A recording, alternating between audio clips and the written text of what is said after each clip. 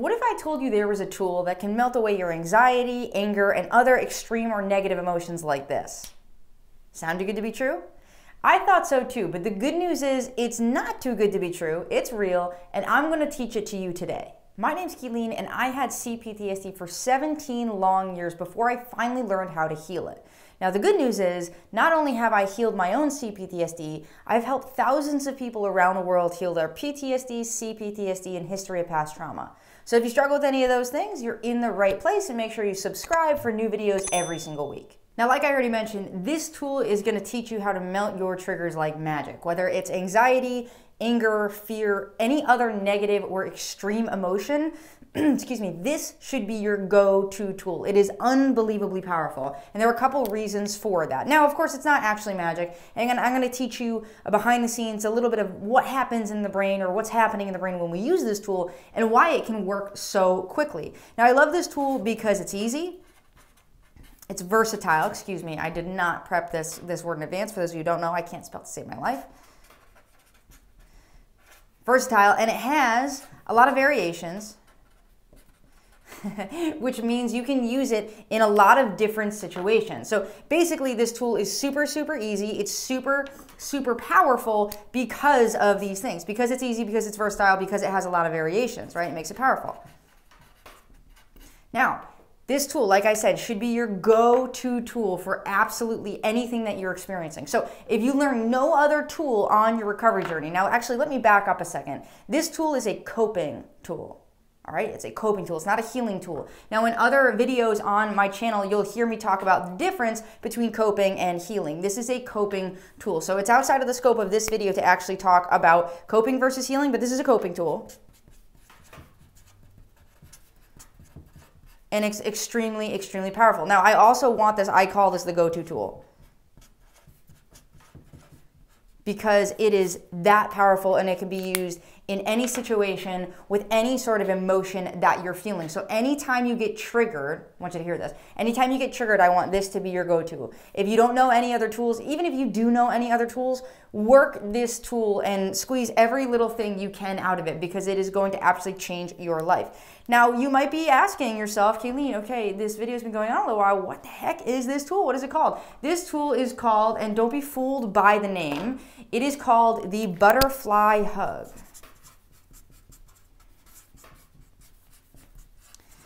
The butterfly hug. Now I'm telling you, this tool, you know, it's, it's easy, it's versatile, it's powerful, right? And then it's called the butterfly hug. Now, again, don't be fooled by the name. Butterfly are actually pretty kick butt kind of insects, right? Or I'm not sure if they're insects or animals, right? But insects, they are so, so kick butt. There is a butterfly that can fly in one day the distance from New York all the way to San Francisco, across the entire country.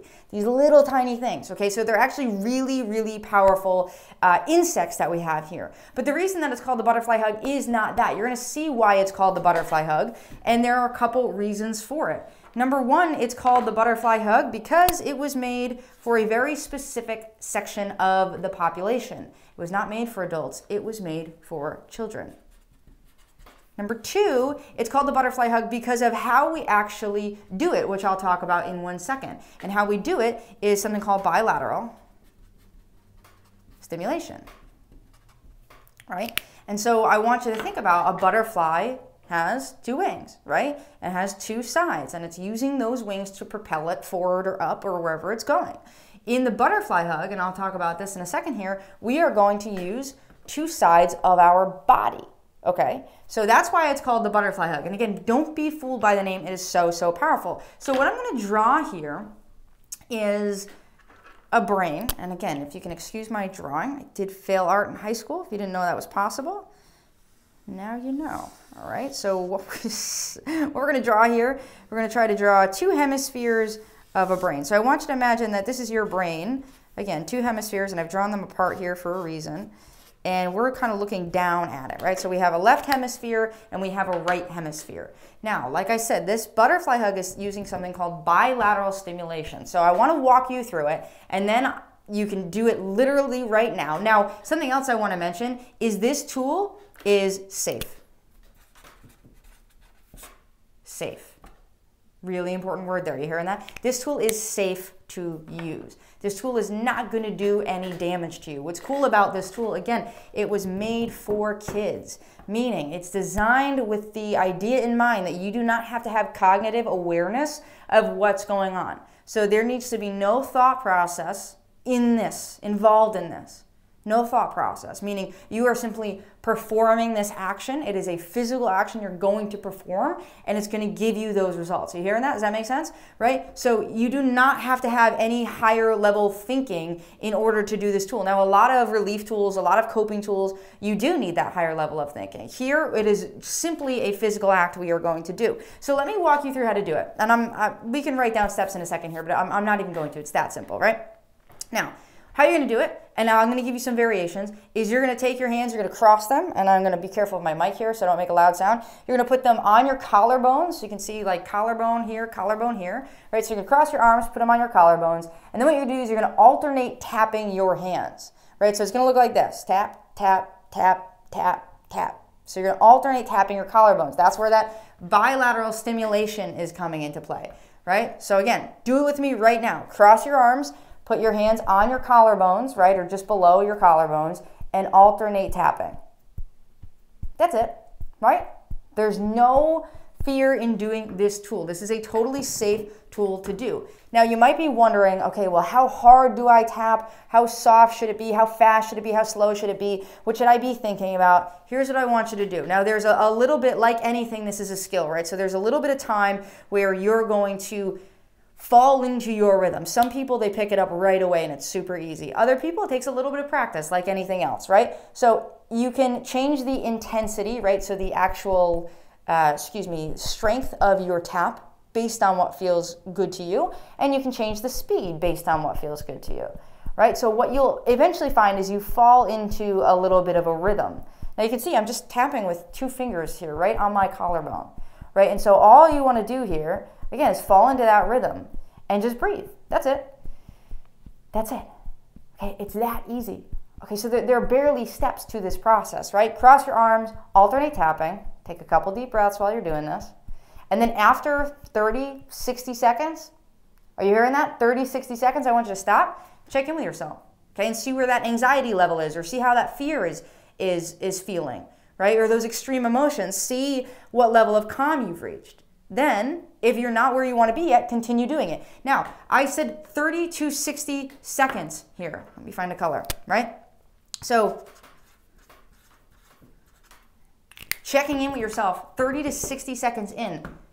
Why? Because literally, it can be that fast it can be that fast. Okay, so there's like no excuse not to use this tool because it can happen that fast. It can help you reach that level of calm that quickly. Are you hearing that? That's like, that's the magic part of this. And I'm gonna, I'm gonna explain what's happening in the brain.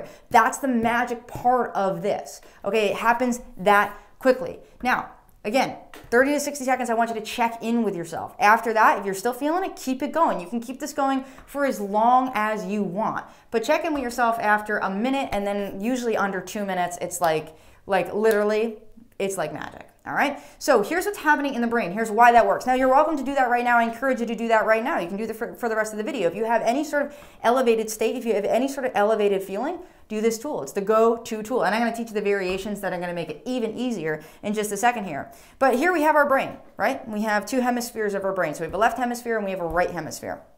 What's happening when we're tapping the collarbones, we're alternating those taps. What happens is when I'm with my right hand tapping like my left collarbone, I'm stimulating half of my brain. So actually when I'm tapping the left side of my body, I'm actually stimulating the right hemisphere of my brain and vice versa, right? So I'm tapping, alternating, the alternate tapping the sides of my body.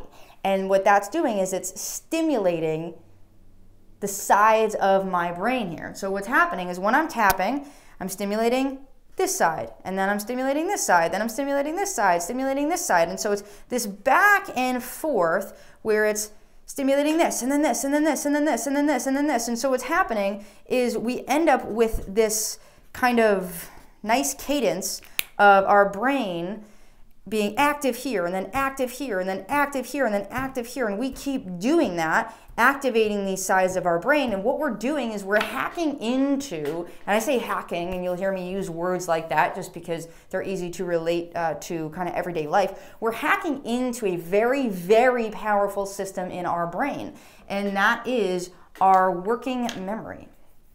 Right? So, our working memory.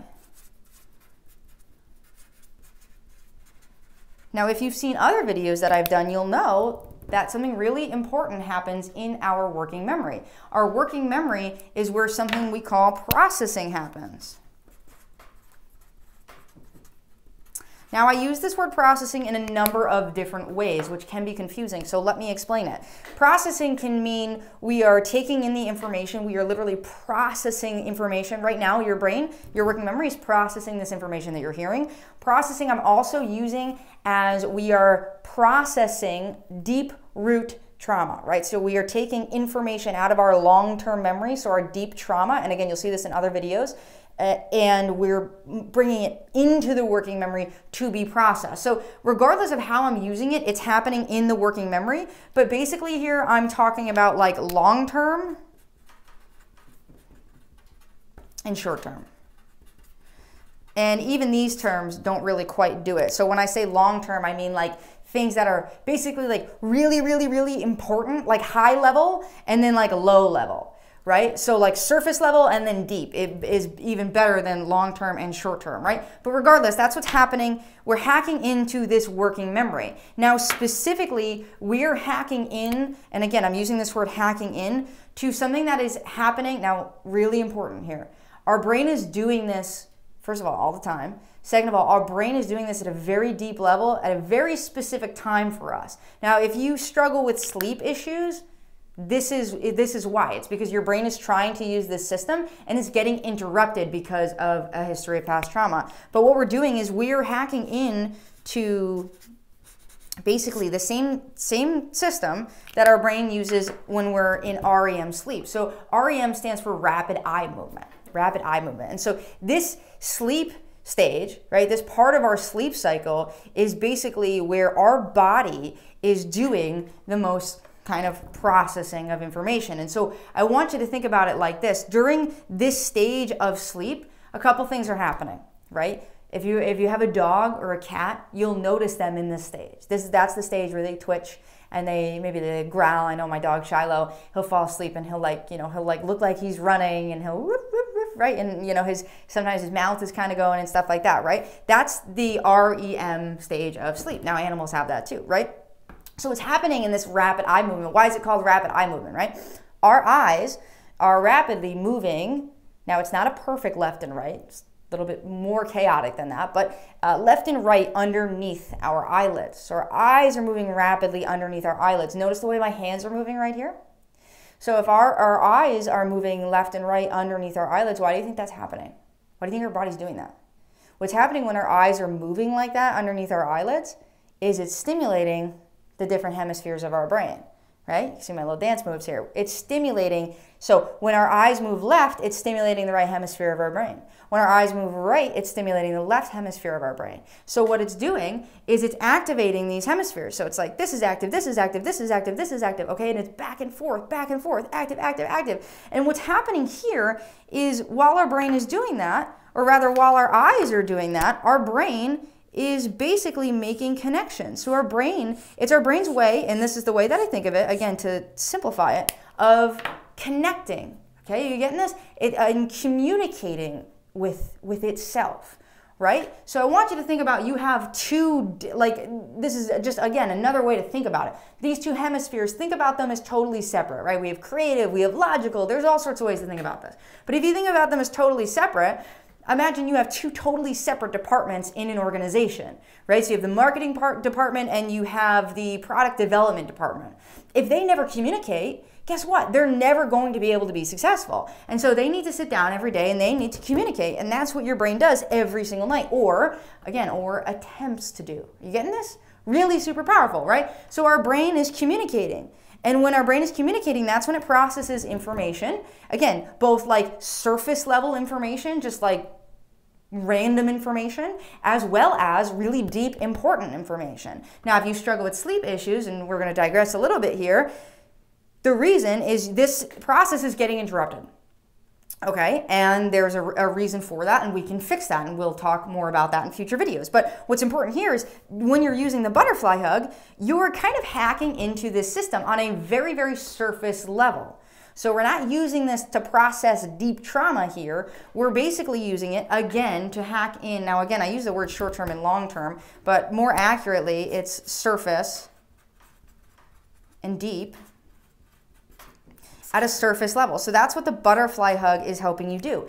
Again, hack in at a surface level. You do not need a higher level of understanding. You do not need cognitive awareness for this to work. All that you're doing is breathing and stimulating each side of your brain. Your brain is doing the rest. You hearing that? Does that make sense? Your brain is doing the work here. You don't need to do any work here other than the physical. Okay, so I want to talk about some variations and I want you to think about this. If REM, rapid eye movement sleep, where I told you your eyes are moving left and right underneath your eyelids, if that's activating this same system, the same processing system, right? What are some ways, do you think, that we can use variations of the butterfly hug. So there's a couple things, I want to back up a second. There's a couple things I already told you, right? Your brain is using this system during REM sleep and your eyes are moving back and forth.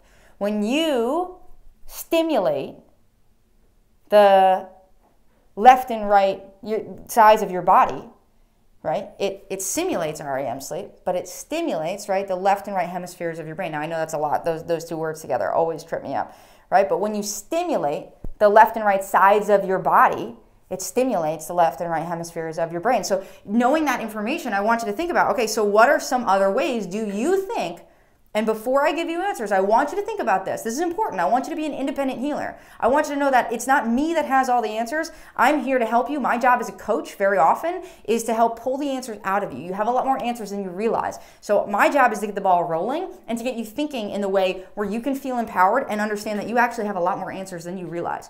Okay? So, what are some ways do you think that we could alter we could do alternate alternations? We have alternating ways variations of the butterfly hug. Excuse me there. So what are some different ways do you think that we can do the butterfly hug? Now, number one is going to be our hands crossed over our chest, right? You see that? Hands over chest. What's another way? There's a hint, right? There's a hint. Another way that we can do this is we can use our eyes. We can use our eyes. That makes sense? Right? So eyes.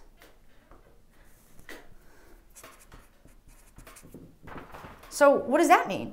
Right? So we can use our eyes to go back and forth. So that means we can be sitting right now. I want you to do this with me. Sit and shut your eyes. Now I'm going to teach you how to do this so you don't strain your eyes, right? We can be sitting, right? Take a deep breath. See what I just did? Instinctively, intuitively. Second, I shut my eyes. Deep breath, right? Take a deep breath and then move your eyes all the way left, all the way right underneath your eyelids. I don't know if you can see my eyes under here moving, right? And so what you want to do, now you can you can do this with your eyes open as well, is, and I'm going to do this with a pen here, you want to, and test this because you'll feel when it's right. You want to move your eyes as far left. Now, again, don't move your head. Don't move your head. We're just moving our eyes here. As far, well, from your perspective, this will be left, right? Left or right, as you can, without causing strain. So go as far as you can, and then go to the point where a, it strains your eyes a little bit, and then bring it back in. Does that make sense? So as far as you can without causing strain. Again, don't move your head. And left and right and left and right. Now you can do that with your eyes open or your eyes closed, whatever's most comfortable to you. So eyes is another one, right? So now we have two variations. We have our hands over our chest.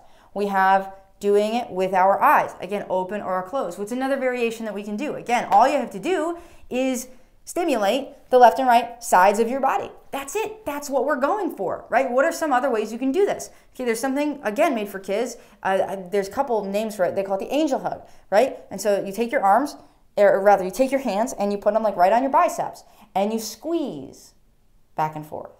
Okay, so you squeeze alternating. Okay, so we'll call that the A hug. There's another way to do it. Now, are you getting how powerful this is? Now, this is not, you know, we're, we're making these up here, but I want you to see, okay, what's something I can come up with on my own? Now, I'm going to give you the most powerful ones so that you leave here and you actually have something to take action on. But there's a ton of ways that you can do this. Another way, right? You take your hands, put them, now you don't have to cross your arms for this. Put them right on the top of your thighs. This is a great one if you're at work, if you're at the dinner table, wherever you are, if there's a desk in front of you and you want this to be subtle, are you getting this? How powerful this is? That you can do this and people will not even notice. Put your hands on the top of your thighs and tap back and forth. Back and forth. This is another great one if you're laying down underneath the covers. This can often be more comfortable, right? Hands on your thighs back and forth, tap back and forth. If I was doing this under the desk right now, you wouldn't know except the fact that I'm telling you, right? Okay, so there's another really powerful variation, thighs. Okay, so really, really super powerful. Now I wanna bring one more thing up because I want you to leave here with kind of a full toolbox of different ways that you can use this because I want you to use the one that's going to work best for you. And so hear me when I say this there are going to be certain situations that you find yourself in that you know you commonly find yourself in. When you're anxious, when you're angry, when you have extreme emotions, whatever that extreme emotion is. I want you to think about those situations right now and think about okay, of the variations that we've talked about so far, which one would work? Are you hearing this? Which one would work best for me in that situation? Maybe you commonly find yourself in your car. Guess what? You're not going to be, unless you drive an automatic car, which maybe you do, an automatic meaning you don't have to drive it, you're not going to be able to use both hands. Okay, so I want you to think about okay, so what's another way, way that we can do that? Well, this used to be my personal favorite. Take one hand, take one hand, and tap like this on your collarbones. One handed tap. That's all it has to be. All you have to do, right? Take your, your, your middle finger and your thumb, spread it as far out as possible, tap like that. Guess what? Then you can do it while you're driving, while you're doing something else right? So there's another one, the one-handed. Okay, and I have one more, and this one is based on something that is really, really powerful, but there are a couple ways that you can do it, but you don't have to do this, right? So again, I want you to look at these and think, okay, so far, what are the ones that I can use? Then I want you to sit down and I want you to say, okay, you know what? Here's an even better way to do this. I'm gonna look at this and I'm gonna try them all and I'm gonna see which one feels best. You know what? Okay, so I went through and I tried them all, and you know, the hands over the chest, that just works best for me, uh, and hands on the thighs, that works best for me. So those are gonna be my go to. Then throw the others out. You hear me? Then throw the others out. Doesn't matter. Okay, these are all really, really powerful. What you might find, and I'm jumping ahead of myself a little bit, is you know what? The hands on the thighs combined with doing it with my eyes, that's what works best for me. You can combine these as well. That's gonna make it even more powerful. Okay, the last one here that I wanna talk about is visualization. Again, can't spell to save my life, apologize. Right, so visualization. So I want you to imagine there is an imaginary line running down the center of my body here, the midline on my body. So I have a left side and I have a right side and they're separated by this line couple ways that you can do this. I want you to imagine that the left side of me right now is all lit up, right? It's like bright. And the right side of me is dark. So imagine that there's there's energy there, right? And so in this visualization, you're imagining that energy jumping from the left to the right. Okay, so now my right side is lit up and my left side is dark. And then jumps again. Okay? And when you're visualizing this, and if you're a strong visualizer, and I, I will do future sessions on visualization, this will be kind of second nature to you. You want to visualize the feeling of it. So uh, a tingling could be a great way to do this, where it's you, you know it's jumping from left to right. It's jumping from right to left. Okay, so there's a way that you can do it literally, where you can do that with your eyes open or your eyes closed. No one will ever know. Super, super subtle. Other way that you can do that Imagine light is traveling through your body. So from the tip of your left finger, imagine like a line of light is traveling, traveling, traveling, traveling, traveling, traveling, traveling. Again, if you do this right, you can feel it tingling all the way to the midline of your body and then traveling all the way to the other side and all the way back. So that's the visualization. Again, a number of ways that you can do this. So sit down and try each one of these things. Really important last point. I want you to do this, meaning practice this, when you feel well. What? Okay, why would I need to practice this when I feel well? When I don't feel anxious, when I don't feel angry, when I don't feel scared? I want you to imagine you're a singer or a dancer or someone that's going to give a speech somewhere on a huge stage someday. Let's think about like Wembley Stadium, I believe, is the biggest stadium in the world for concerts and things like that, right? Wembley Stadium, and uh, you need to give a speech there. Are you going to go up right now unprepared and give that speech? How's that going to go if you do that, right? So if I want to play a show at Wembley Stadium, guess what I'm going to do? I'm going to practice and practice and practice and practice and practice and practice really for years before it's actually showtime. Why is that? Because I want it to feel like second nature, right? You don't just get up there and dance. The people that uh, play on that stage, that speak on that stage, they do so because they're the experts. They become the experts in that field. Now I'm talking about art, music. They become the experts in that field by practicing. So they practice when they're not on stage so that when they're on stage, it's second nature. Does that make sense? So I want you to practice this skill when you don't need it so that when you need it, it's second nature so that you can go to it no problem. You can call on it. It's easier than ever. Okay, it's already such an easy tool, but it's easier than ever. It's second nature. Okay, it's like it's like breathing. Okay, if you saw earlier in the video, and I would encourage you to go back and look at this, the second I closed my eyes, what happened? I took a deep breath. Now, it's not because I actively told myself to take a deep breath, it's because for years I practiced that, right? When I close my eyes to do any sort of tool. Now, I don't need to use this tool anymore right? But when I close my eyes, that's the thing that came next because I practice it, practice it, practice it. And I practice it so that when I needed it, right, it came like second nature. So if you like this video, don't forget to subscribe. And I do new videos every week on PTSD, healing, recovery, and all the things that go with PTSD, CPTSD, and past trauma. So amazing job. I love you. I believe in you. And I'll see you in the next video.